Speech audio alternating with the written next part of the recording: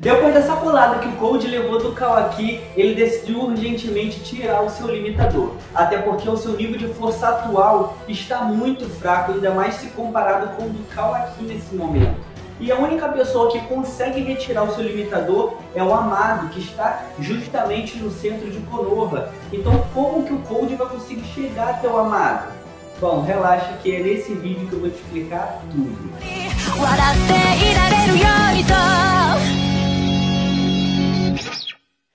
Deixar claro, o Cold leva uma costa do Kawaki lá no capítulo 67 do mangá de Boruto. E isso porque o Kawaki conseguiu ter acesso aos poderes de Ishiki Otsutsuki. Então se você está viajando, não está conseguindo entender nada, cara, clica aqui nesse card que é onde eu faço a análise né, desse capítulo 67. Kawaki anulou a principal habilidade do Cold, que são as suas marcas de garras. E o Kawaki conseguiu fazer isso encolhendo todas elas com o Sukuna Rikona. Então pra você ter uma ideia, cara, o próprio Cold reconhece que ele está muito mais fraco do que o Kawaki.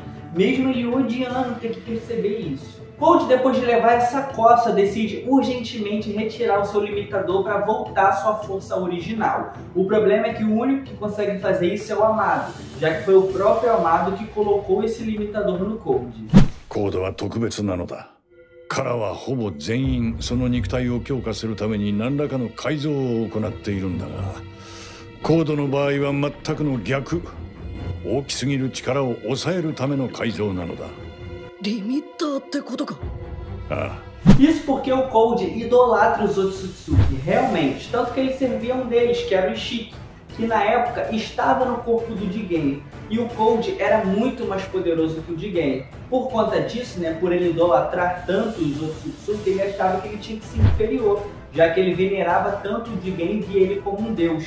Então ele mesmo pediu ao amado na época que colocasse um limitador nele para enfraquecê-lo, e assim o Jigen fica mais poderoso. Só que agora o jogo virou. Ele quer seguir adiante com os desejos do Ishiki, só que para isso ele precisa do seu poder original. E o único que consegue tirar esse limitador dele, como eu falei, é o próprio Amado. E a própria Ida revela que o Amado, ele fica justamente, cara, no centro da Vila da Folha. Então seria dificilmente chegar até lá porque o Cold não tem nenhuma marca de garra naquele local. Sem contar que Konoha ainda conta com aquela barreira que detecta qualquer pessoa que invade na vila instantaneamente. Então, qualquer chegada do Cold naquele local chamaria muita atenção. E com isso a gente chega na principal questão desse vídeo. Como que o Cold vai conseguir chegar no Amado para retirar esse limitador? Bom, mas antes da gente responder essa pergunta, eu preciso pedir a sua inscrição. Clica aí no botão de inscreva-se, principalmente, cara, você que assiste a vários vídeos aqui do canal, mas nunca se inscreve. Pô, mano, se estiver gostando dos conteúdos, se inscreve aqui no canal para fortalecer, aumentar a comunidade e também para você ficar por dentro de tudo. Porque se não tiver inscrito, não vai ser notificado pelos vídeos que vão sair daqui para frente, beleza? Então, se estiver gostando, já se inscreve aí. Te agradeço demais, muito obrigado mesmo, cara. É graças a vocês aí que eu fico mais empenhado a trazer vídeos e mais vídeos, valeu? Muito obrigado. Repara numa coisa. Cold já havia percebido que ele era mais fraco do que o Kawaki. A Eita explica a ele que seria extremamente complicado chegar no amado, principalmente na posição onde ele se encontra.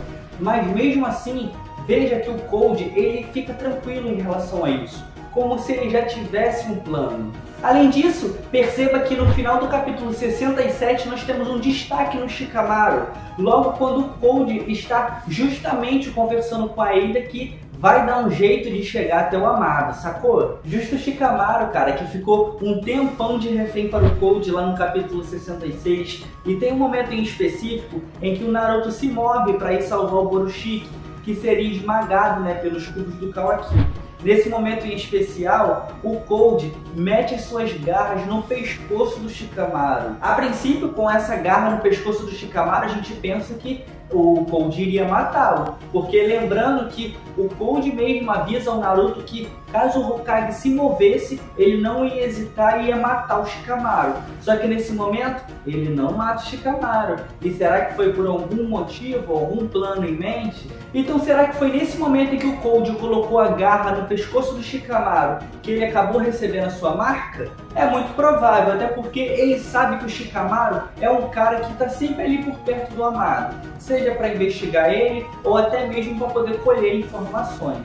Sem contar que o escritório do Hokage fica bem localizado ali no centro da vila. E como Shikamaru é o conselheiro do Naruto, é óbvio que ele está ali né, na maior parte do tempo. Então seria um plano quase que infalível, já que a Eida podia indicar o Cold o momento certo para aparecer através do Shikamaru. E já podemos perceber que o Cold não é tão burro assim. Um pensamento com esse raciocínio super inteligente não seria algo tão anormal. Até porque você viu aí nesse próprio capítulo 67 que ele pensou muito rápido puxando o Daimon para refletir o ataque do Kawakiki ou mataria ele ou causaria muitos danos. Então ele é sim um cara inteligente e poderia rapidamente ter pensado num plano como esse. Mas me diz aqui o que, que você acha, eu quero muito saber a sua opinião. Shikamaru vai ser mesmo a ponte para o Cold chegar até o Amado? Será que vai ser assim tão fácil? Porque não sei se você reparou, mas o Shikamaru conseguiu coletar algumas informações no meio dessa confusão como conseguir ver o próprio Daimon que o Cold meteu no meio da batalha, como eu disse, para evitar né, o ataque do Kawaki. Então é isso, galera. Essa foi a minha teoria. Espero que você tenha gostado. Muito obrigado para você que chegou até aqui. E sem mais, meu nome é Rafael Peixoto e esse é o Nerd na Net.